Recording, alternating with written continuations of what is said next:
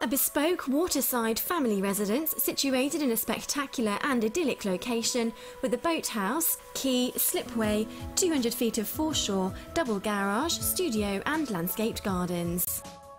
Accessed by a vehicle over a private beach, this unique property was extensively remodelled and renovated in 1996, offering around 4,288 square feet of versatile and adaptable accommodation.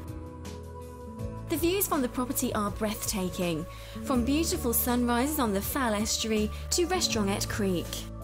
The rivers and estuary are a hive of marine activity all year round. Restronguet Weir is conveniently located. The thriving Mylor village is two miles distant. The cathedral city of Truro is nine miles away, and the harbour town of Falmouth is six miles. After driving along a rural lane and over the private beach, one can park in the parking spaces or the 40 foot detached garage. A pedestrian gate leads up to the landscaped gardens. There are various terraces designed to optimise the splendid views. Ascending to the rear is an upper terrace that leads to an area of sloping, well stocked wildlife garden. After admiring the captivating vista, sliding glass doors lead into the entrance hall. A walkway leads onto the impressive conservatory designed as an extra reception room.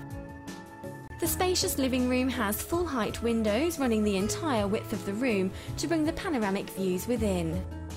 There is a living flame gas fire and wood burning stove. A showpiece room is the kitchen breakfast room. It is hand built in ash and has a range of appliances, including an Aga. An inner hall leads to a cloakroom, utility, and staircase. From the main landing, there is a choice of four spacious bedroom suites, all with different views and ensuite facilities, including a study. Viewing is strongly recommended.